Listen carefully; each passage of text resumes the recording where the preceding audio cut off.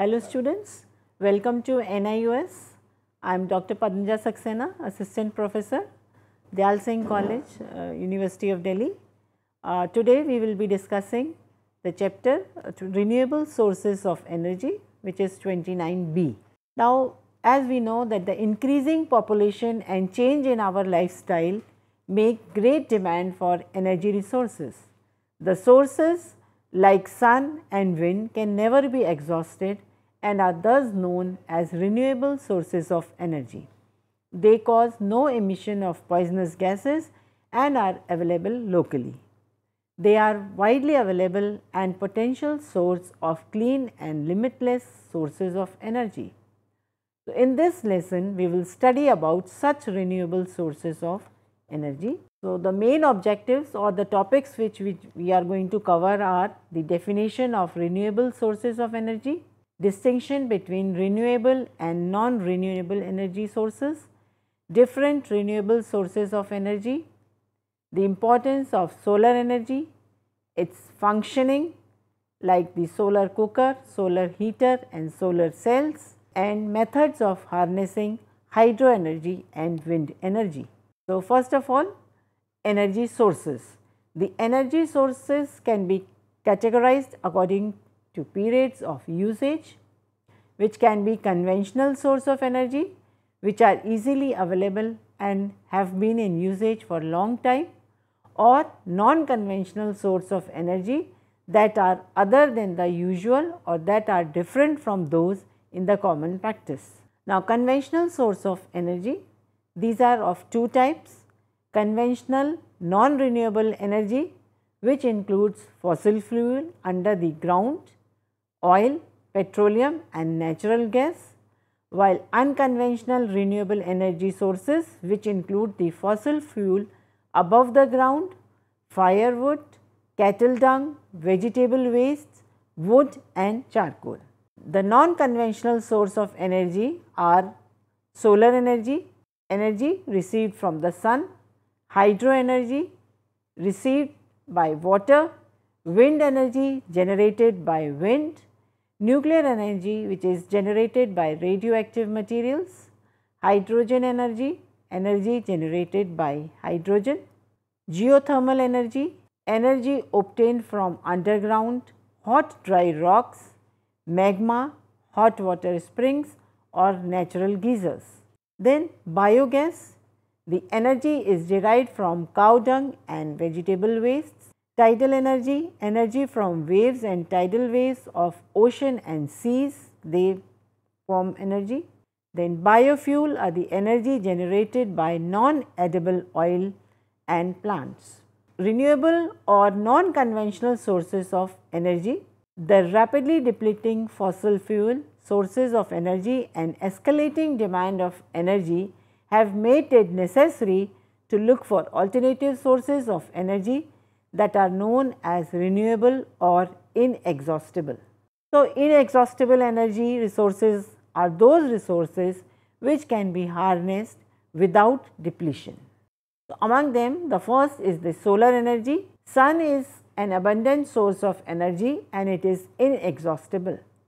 Solar energy supports all life on earth and is the basis for almost every form of energy we use.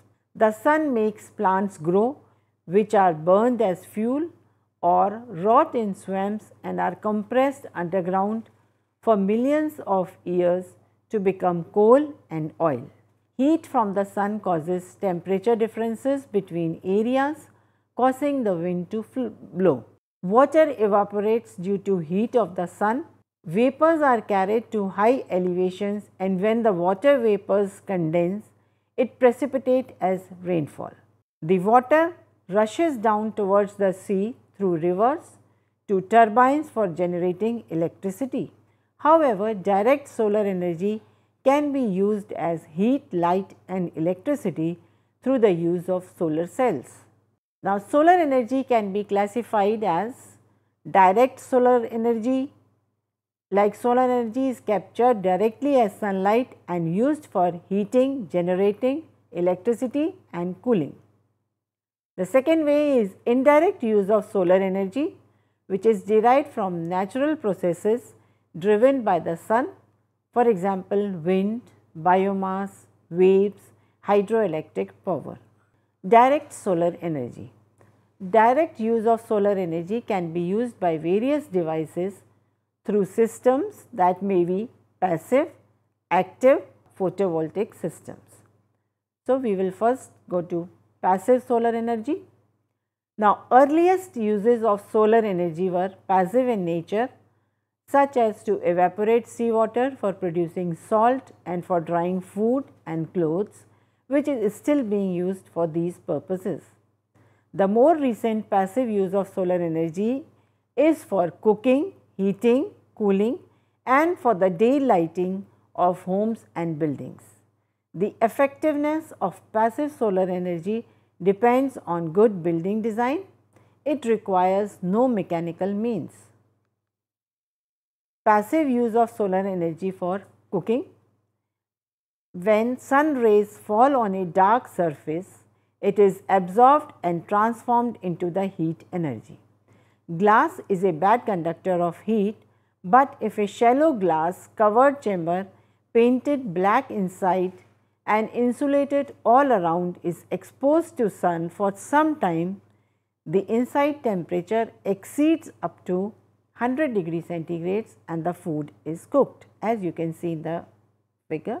The solar cooker takes 5 to 6 hours to cook food. It is the device for direct use of renewable source of energy. In Indian conditions with plentiful sunshine, we can use a solar box cooker for cooking of food.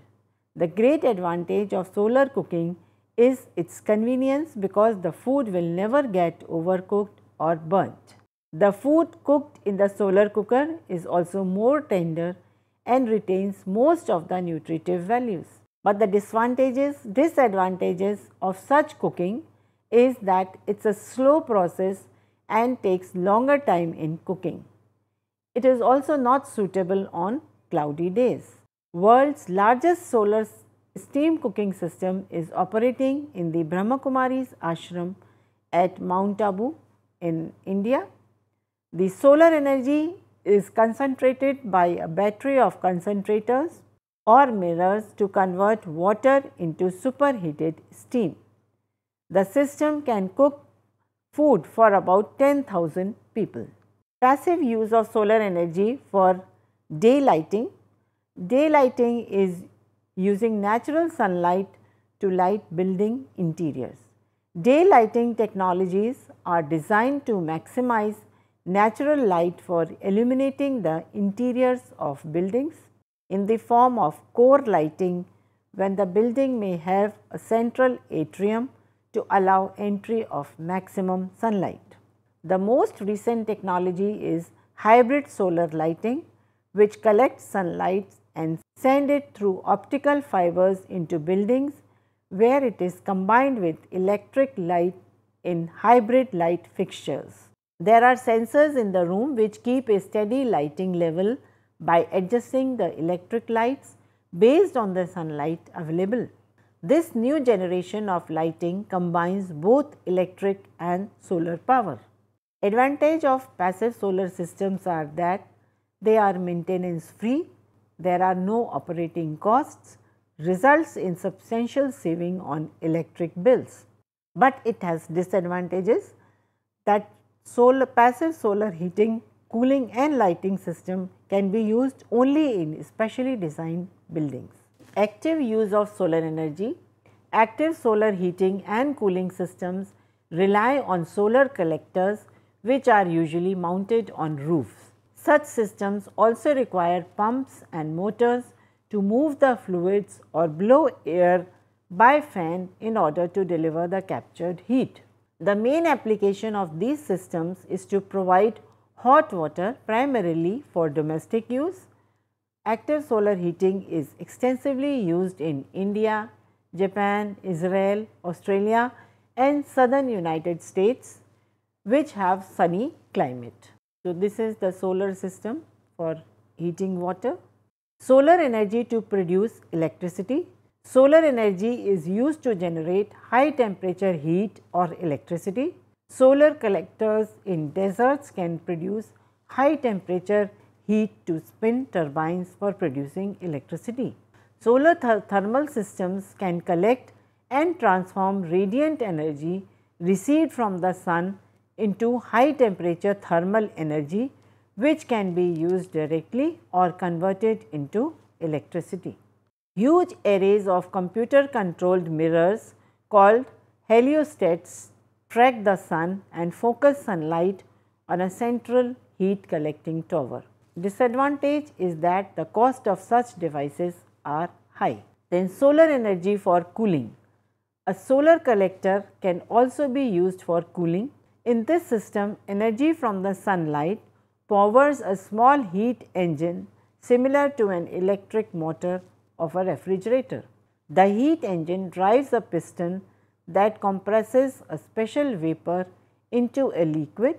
The liquid then re-vaporizes and draws heat out of the surrounding air. Solar cells or photovoltaic technology. Solar energy can be converted directly into electrical energy by photovoltaic cells commonly called as solar cells. Photovoltaic cells are made up of silicon and other materials. When sunlight strikes the silicon atoms, it causes electrons to eject. A typical solar cell is a transparent wafer that contains a very thin semiconductor. Sunlight energizes and causes electrons in the semiconductor to flow creating an electrical current. Solar cells can provide electricity to remote villages. India is the world's largest market for solar cells. We will now discuss about the uses of photovoltaic cells. Photovoltaic cell can be used for domestic lighting, street lighting, village lighting, water pumping, electrification, desalination of salty water, powering of remote telecommunication repeater stations and railway signals. Now, we will discuss about the indirect solar energy. Indirect solar energy can be obtained in the form of wind energy, tidal energy, hydroelectric energy and biomass energy. Wind energy. About 2 percent of the sunlight striking the earth is converted into kinetic energy of moving air called wind. The uneven absorption of the solar radiation by the earth's surface causes differences of temperature, density and pressure which produces air movements at local, regional and global levels powered by wind energy. The kinetic energy of wind can be harnessed by converting it into mechanical energy or electrical energy using suitable devices.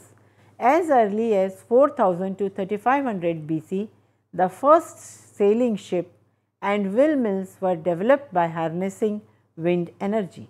The wind has been used to power ships, grind grains, pump water for irrigation and do other types of work.